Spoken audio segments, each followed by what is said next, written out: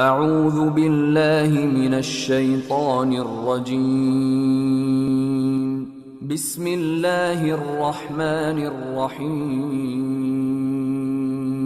والفجر وليال عشر والشفع والوتر والليل إذا يسر. هل في ذلك قسم لذي حجر؟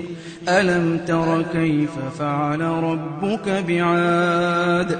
إرم ذات العماد التي لم يخلق مثلها في البلاد আসসালামু আলাইকুম ওরহমতুল্লাহ ওবরাকাত বশির পাটোয়ারি সৌদি আরব থেকে জানতে চেয়েছে যারা সালাত আদায় করে না তাদেরকে কি সালাম না দিলে গুনাহগার হবে কি বিসমিল্লাহ ওয়াসসালাতু ওয়াসসালামু আলা রাসূলিল্লাহ ওয়া বা'দ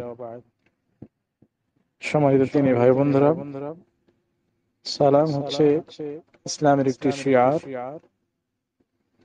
একজন মুসলমান আর একজন মুসলমানের মধ্যে ভালোবাসার একটি প্রতীক।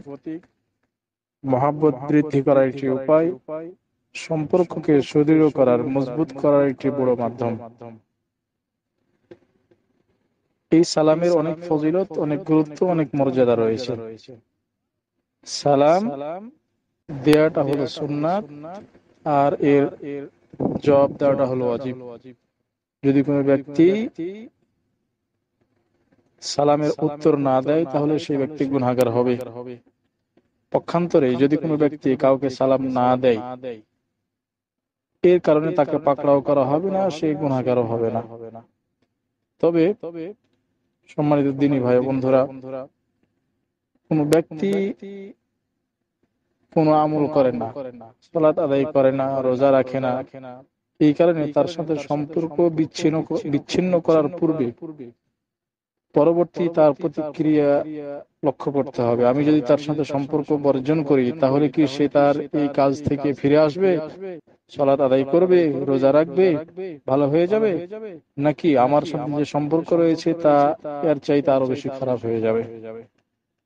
যদি সম্পর্ক এর চাইতে আরও বেশি খারাপ হয়, তাহলে তার সাথে যাবতীয় সম্পর্ক অটুট রাখতে হবে, সম্পর্ক ভালো রাখতে হবে, তাকে সালাম দিতে হবে, যাবতীয় কার্যক্রম তার সাথে ভালোভাবে করতে হবে।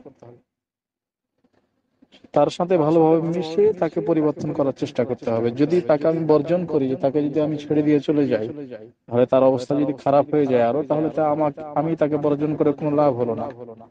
এই জন্য চেষ্টা করতে হবে। সর্বোচ্চ চেষ্টা করতে হবে যাতে একজন ব্যক্তি সলাৎ আদায় করে। ইসলামের যে ভালো কাজগুলো রয়েছে তা করে। সালাম দিতে হবে। বেশি বেশি তার সাথে আরও বেশি বেশি মিশতে হবে। তাহলে আশা করি ইনশাল্লাহ তার মাঝে পরিবর্তন ঘটবে।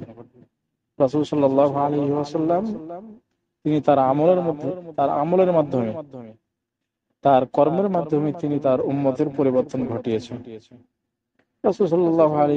একজন ব্যক্তি মসজিদে এসে পেশাব করেছে, তিনি তাই কিছুই বলেন নাই। যখন সে মসজিদ থেকে বের হয়ে চলে যাচ্ছে, তখন তাকে ডেকে তিনি বলছেন, এটি হচ্ছে এটি পেশাব করার জায়গা নয়। আখলাকের মাধ্যমে, নিজের আমলের মাধ্যমে মানুষকে, মানুষের পরিবর্তন ঘটাতে হবে। আশা করি উত্তরটা পেয়েছেন। আল্লাহ রবুল আমাদেরকে তার দিনের প্রতি অটল থাকার তৌফিক দান করুন। আসসালামু আলাইকুম রহমতুল্লাহ